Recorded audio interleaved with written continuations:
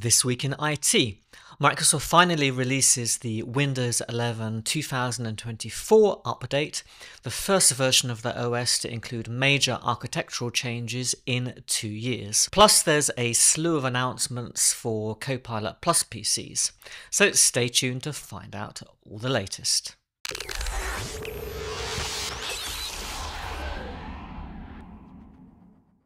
Welcome to This Week in IT, the show where I talk about everything connected to Windows, Azure, and Microsoft 365. But before I get started, I've got a quick favour to ask you.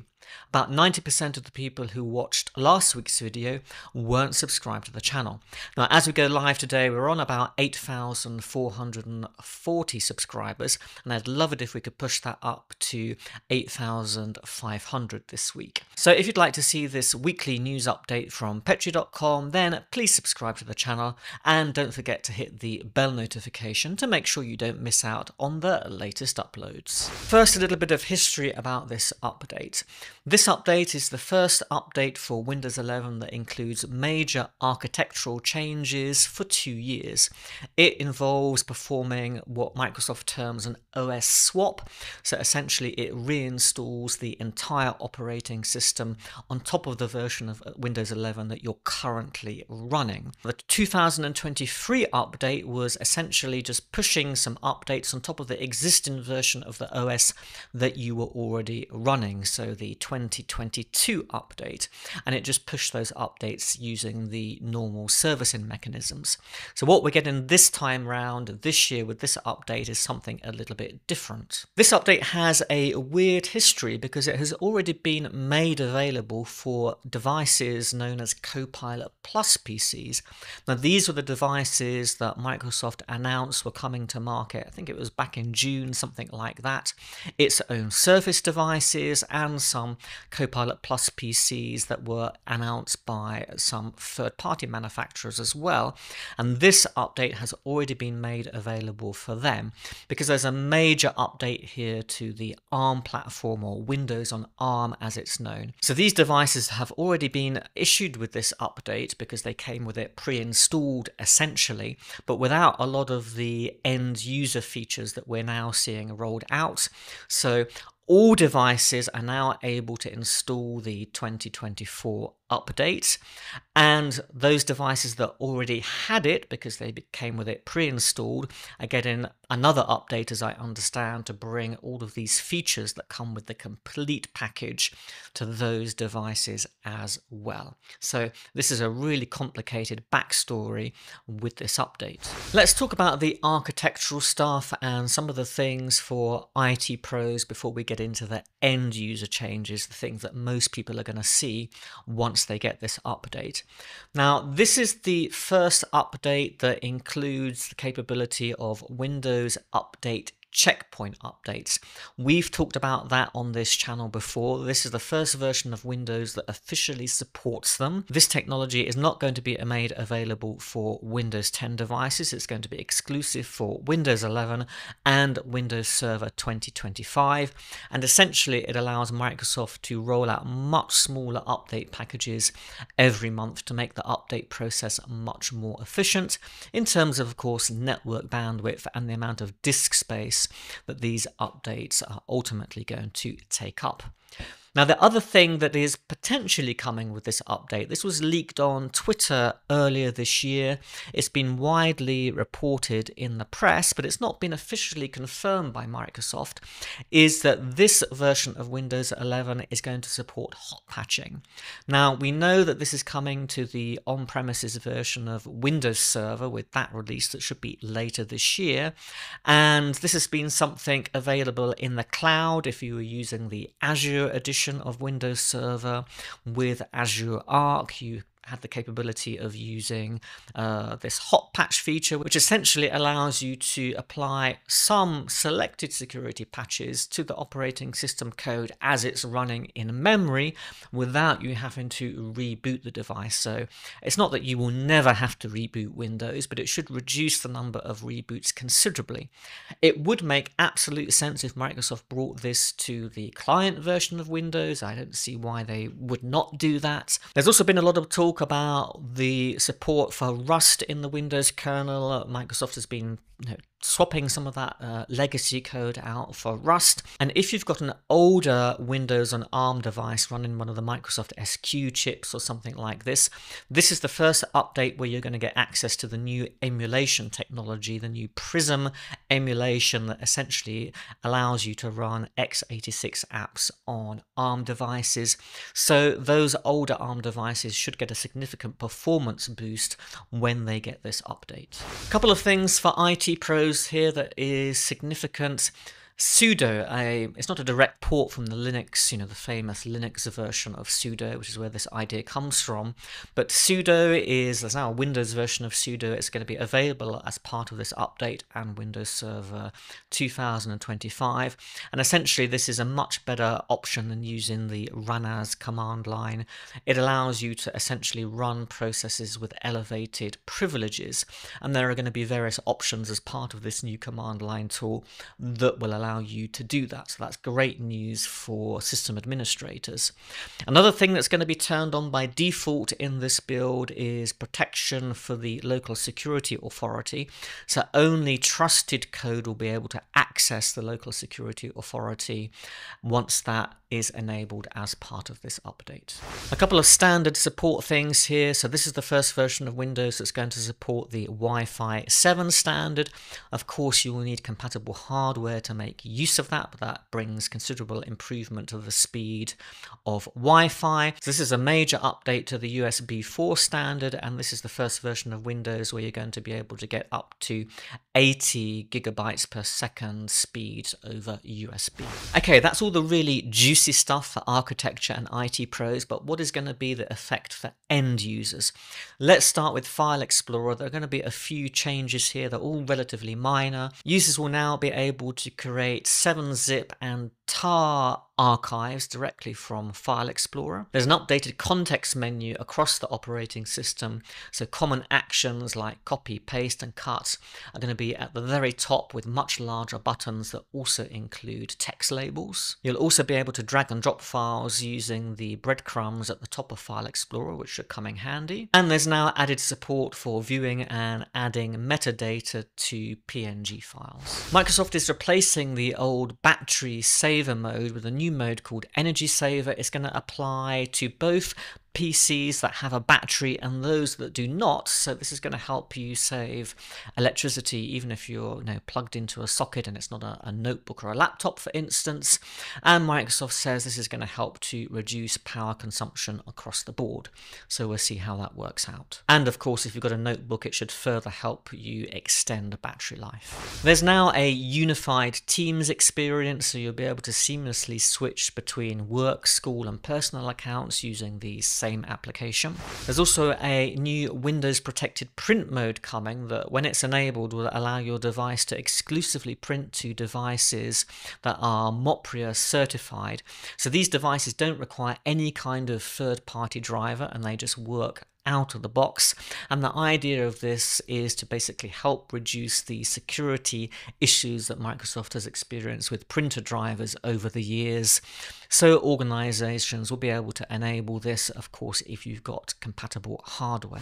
Microsoft is extending BitLocker drive encryption to clean installs for everyone, regardless of whether you're running the Home or Pro edition of Windows 11, and you don't need to have a Microsoft account in order to enable it. Windows Copilot, of course, we've seen uh, as an app in Windows for some time now.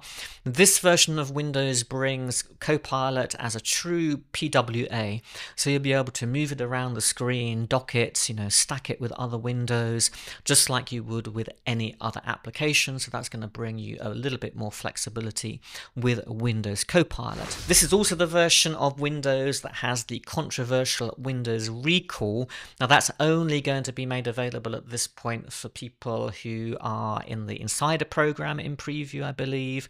So there's still some testing involved. I think a few weeks ago we mentioned that Windows Recall has been kind of you know, relaunched by Microsoft with some new security features, you know, which debatable whether they're really new or not, but just, just some new protections to make people feel a bit more fuzzy and warm about how the whole thing works. So that will be coming to users with appropriate hardware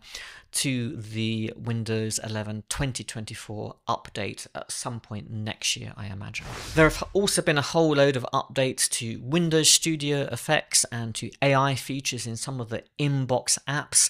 Again, you have to have appropriate hardware, so what that really means at this stage is an ARM processor with an NPU. I'm not going to go through all of those enhancements because I know that applies to a relatively few number of people at this stage, but just be aware there's a whole load of improvements and additions coming there. In a separate announcement, Microsoft said there's a whole load of AI things coming to Copilot Plus PCs at some point in the future. They're not necessarily coming right now as part of this update, but there are some intriguing things that could persuade you that at some point you need to update to one of these new devices. The thing that really struck me out of the three main features that they're really announcing here is improved search. Now, I know that people have their, you know, qualms with search in Windows. I think it's actually not bad. Uh, it's certainly got a lot better over the years. But one feature they're intending to bring to these new devices is the ability to search for things by just describing the file or you know whatever it is that you're looking for without actually having to know its name. So, for instance, if you had a picture of a dog that you were looking for, you could say, you know, show me pictures with brown dogs or something like that. And I think that's something that could become quite invaluable if they can get that right and if it works quite effectively because very often I don't know the name of the file that I'm looking for necessarily but I know there's something in it that maybe I can describe. And if search could surface that I think that is really useful. One of the things we all spend a lot of time doing is just trying to find the things that we need to work with. So if Microsoft can get that right I'd really love to have one of those devices and that would make me think mm, maybe I do need to upgrade Another intriguing feature is something that Microsoft is calling Click to Do. So this is essentially an overlay that will offer you to do various things depending on what what Copilot can see on the screen. Now Microsoft says you don't have to worry about you know your data being stored somewhere or the data that you can see on your screen being used for training you know, if you trust Microsoft with those words, that is not going to happen. But the idea with this is so that you don't have to context switch between applications to do something necessarily. So I don't know, it might offer you to remove a background from a picture. It might offer you to translate something. It might, you know, offer you something, you know, depending on what you're actually doing and what it can see on the screen and what it thinks might be useful. Again, how that's all going to work in practice and how useful it really is, I don't know, but I thought that was really intriguing and a great idea in principle. So one of the problems with the new Copilot Plus PCs that's been noted across the board is that there are some popular x86 applications that you know just don't work under emulation at all and there's no native ARM version for them at this time. Now, Microsoft has committed to saying that those major apps that people are complaining about, things like Google Drive, which is obviously something that many, many people use, and that's a bit of a, a problem if the new devices don't support it, they are committing to saying there will be a version of Google Drive that natively works on these ARM devices in the coming, you know, months. So if you're thinking about updating to one of these devices, but haven't been able to do it so far. Microsoft is promising to smooth the way, so they're mentioning things like Sketchbook Pro, Arc Browser, Google Drive, and also popular VPN clients, you know, ExpressVPN, Shark VPN. They're saying we're going to get, you know, versions of those working on Windows and ARM. So that's going to be great news if we can plug those holes in the application compatibility story. So I guess the next question is, well, when are you going to get 24H2? Well, you know, if you're an organization, it's available, I believe, to download now and you could go and test it if you want to do that. If you're just waiting for it to be rolled out automatically for you know to unmanaged devices, the answer is you're not going to get this anytime soon. I guess because of the major architectural changes happening with this version of Windows and the long development process for it, Microsoft is taking a slowly, slowly approach. So at the moment, this is only going to be available to people through Windows Update who are opted in to receive early versions of Windows. And of course, that isn't most people. So I guess over the next couple of months, those are the people who are going to get this update automatically. And then Microsoft, as it always does, will move to the next phase and they will start to roll out this update to devices that they deem are compatible first. And, you know, once that's proven to be a success, they will extend the update to a wider range of hardware until they roll it out to everyone. But I suspect this is going to be a rather long process. And unless you've opted in for early updates, I wouldn't imagine you're likely to see this update coming to a device near you until either late this year or early 2025. But you know, if you want to take the risk, you can always go and install it manually. Not something that I recommend. I would just wait for Microsoft to do its stuff because we're all aware probably this week there was a big problem with a preview update that blue screened a lot of Windows devices. So there's always a risk involved in this. Let me know what you think about some of the new features Microsoft is bringing to Copilot Plus devices. Do you think it's enough to make you want one of these things? Or maybe that your organization might invest in them?